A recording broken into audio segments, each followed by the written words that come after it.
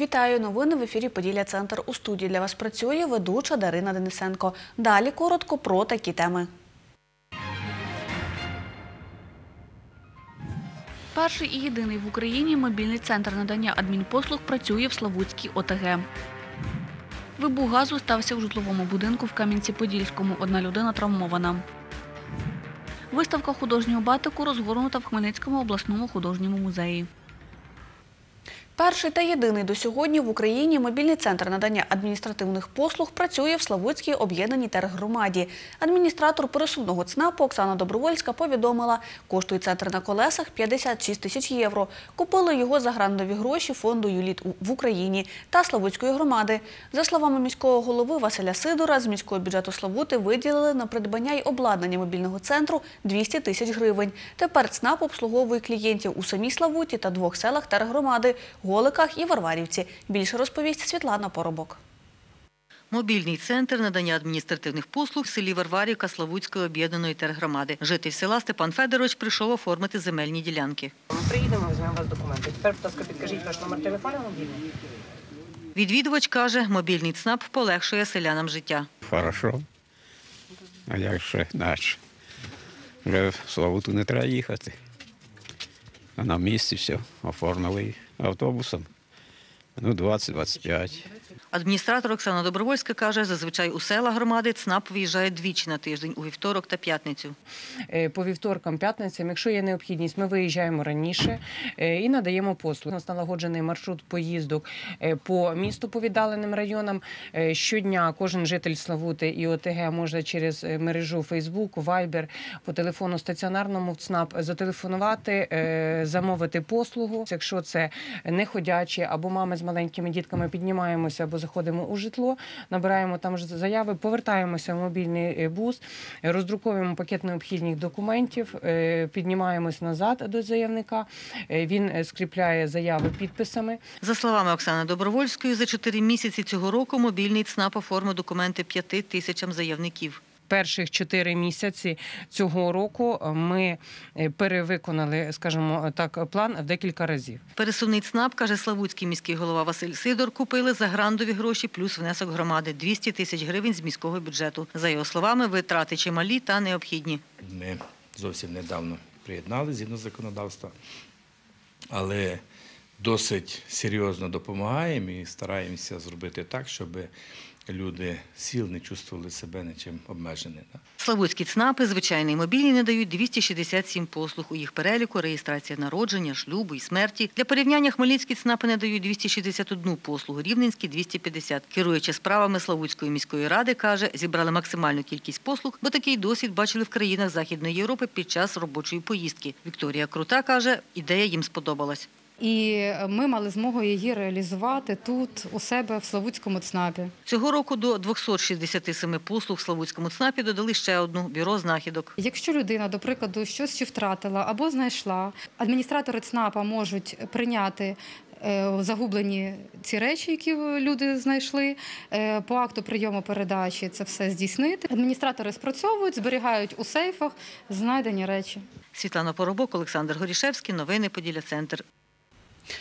Вибух газу стався вчора у житловому будинку в Кам'янці-Подільському. Про це повідомляє прес-секретар Головного управління Держслужби служби з надзвичайних ситуацій Олександр Гулько.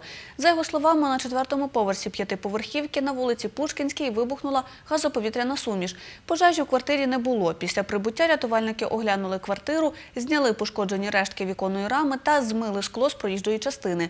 Внаслідок вибуху чоловік, який мешкає у квартирі, отримав опіки. Медики забрали його до лікарні. Причини вибуху наразі з'ясовуються.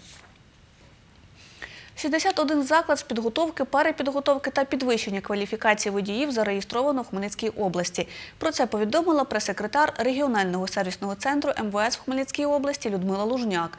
На початку цього місяця Кабмін вніс зміни пов'язані із видачею водійських посвідчень та підготовки водіїв у автомобільних школах. Чи розпочалися зміни в автошколах, дізнавалась Анастасія Олексюк. Не знаю, чи це нововведення, але я чула, що з ну, наступна група, яка буде набиратися, вона буде вже вчитися півроку, а не два місяці. У переліку нововведень відсутність паперового свідоцтва про здачу іспитів та електронний журнал, розповідає провідний консультант адміністратор регіонального сервісу МВС у Хмельницькій області Ганна Гарматюк. Якщо раніше свідоцтво термін дії свідоцтв був 10 років, то тепер е, відтепер термін дії цих свідоцтв буде 2 роки. Зараз запроваджується так званий електронний журнал в автошколах, е, в якому будуть відмічатися усі е, виїзди практичні, всі теоретичні е, заняття безпосередньо в автошколі. І ці зміни будуть відображатися як в автошколі, так і в сервісних центрах. Зміни директора автомобільної школи Хмельницької обласної організації Всеукраїнської спілки автомобілістів Павло Талімончик аналізував спільно із викладачами та інструкторами. Каже, деякі пункти підтримують, та вводити їх поки не поспішають. Там є пропозиція, щоб відмінити паперові ці свідоцтва, а щоб тільки в електронну виняв. Це я читаю позитивно, бо за це опять же і кошти сплачуються, і лишній час це заявки, там перерахування, отримання. Це лишня робота і для сервісних центрів, і для, ну, для автошкіл. Є нововведення, які вони можуть покращити якість підготовки. А є такі, що ну я вважаю, що вони ніяк не вплинуть на якість підготовки водіїв. Павло Талімончик не погоджується із пунктом про екстерне проходження водійських курсів та додає, також проблематично вести у автошколах електронний журнал. Комп'ютери у нас є. Ну, в тому класі в нас там щось там шість комп'ютерів, і е, в тому класі у нас теж комп'ютера є. Ну, немає доступу до інтернету, не, не в кожному цьому. Тобто можна бути. І вже в школах проводилися заняття, там що теж багато вчителів на один комп'ютер, і там кожен хоче ввести. У постанові Кабміну також вказується про відеофіксацію здачі практичного іспиту. Обов'язково відеофіксація е, як е, екзаменатора. Так і е, громадянина, який бажає отримати посвідчення водія, а безпосередньо в машині під час е, здачі практичних іспитів. Інструктор з водіння Олексій Маргітич каже, відеокамери у авто не можуть дати об'єктивної оцінки навичок водіння. Достатньо е, обладнати автомобіль відеореєстратором, який має камеру переднього та заднього обзору. Це буде достатньо об'єктивно показано вміння і навички курсанта при виконанні тих чи інших вправ, а також при їзді по е, місту.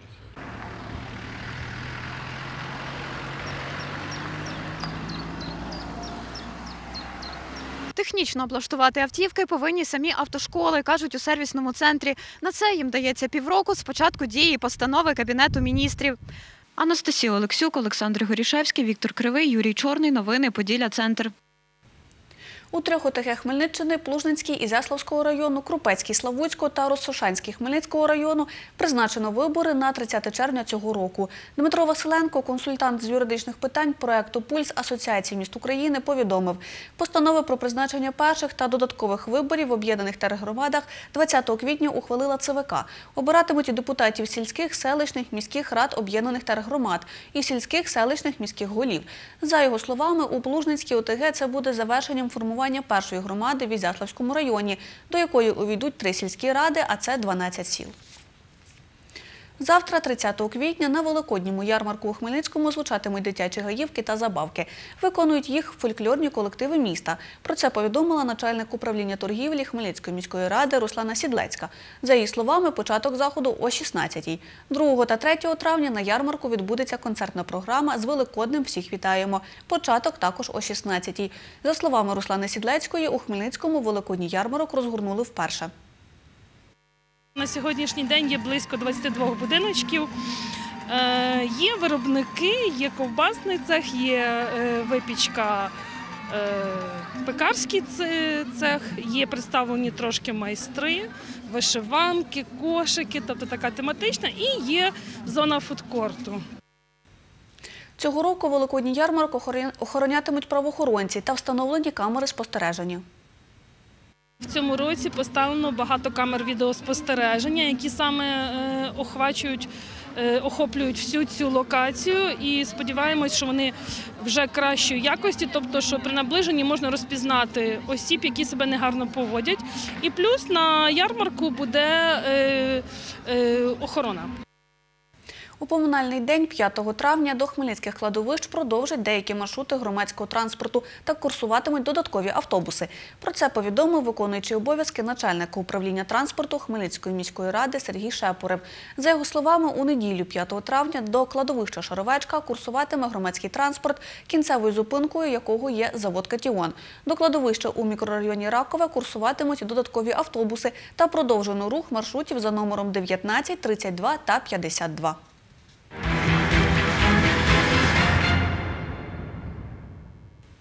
На максимальній швидкості 80 км за годину, а собівартість 2 тисячі доларів.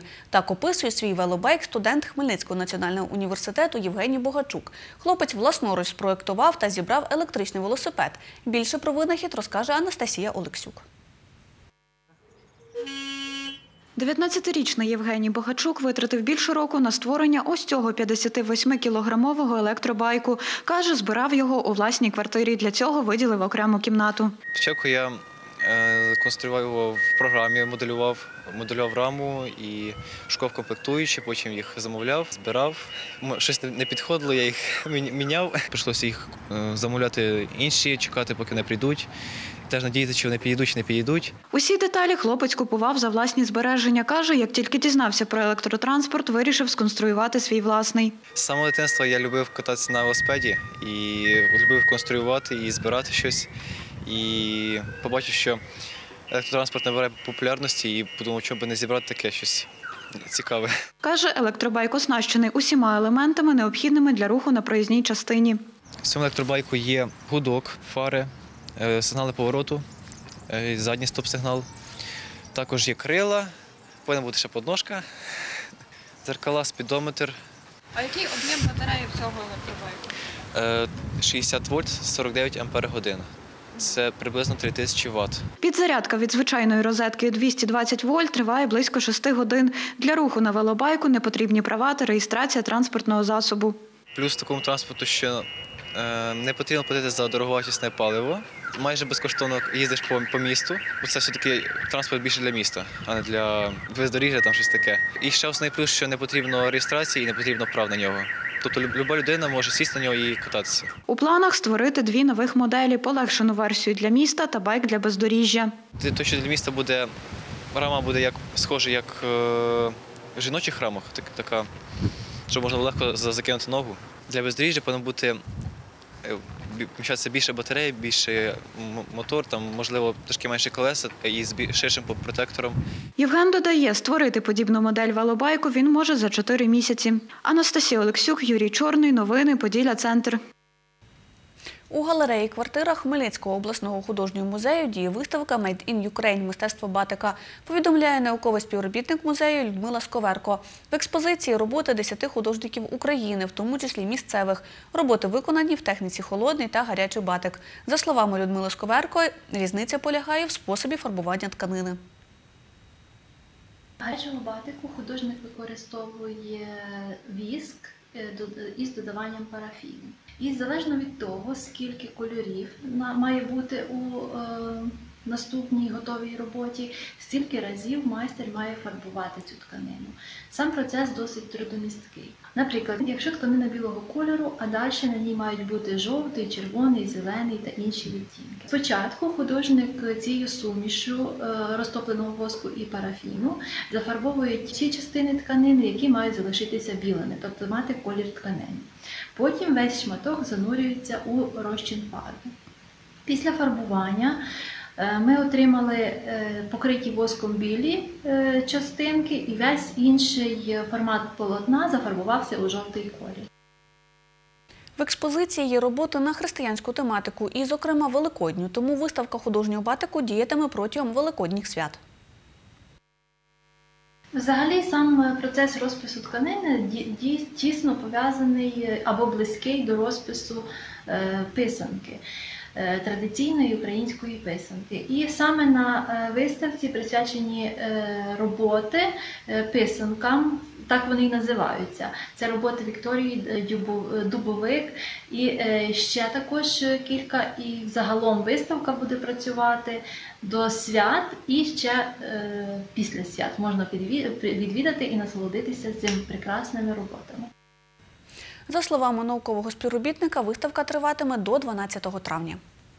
Це була остання інформація цього випуску. Наступний дивіться о 20.30. Більше новин ви можете знайти на нашому офіційному сайті та на сторінці у Фейсбук. Побачимось!